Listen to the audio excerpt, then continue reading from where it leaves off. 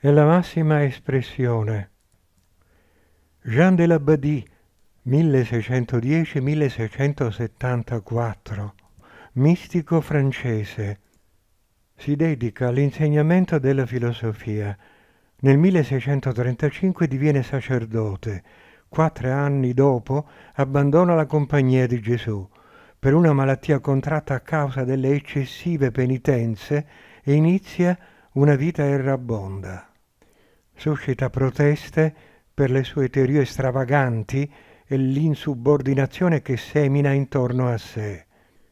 Si converte al calvinismo, ma presto se ne allontana per elaborare una mistica che vuole conseguire una relazione diretta con l'assoluto, mediante la mortificazione dei sensi e la preghiera.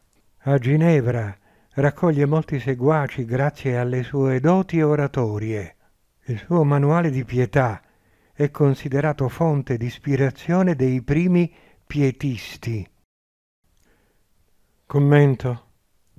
Per Jean de Labadie il misticismo è la massima espressione della spiritualità individuale e va ricercato in modo costante e tenace.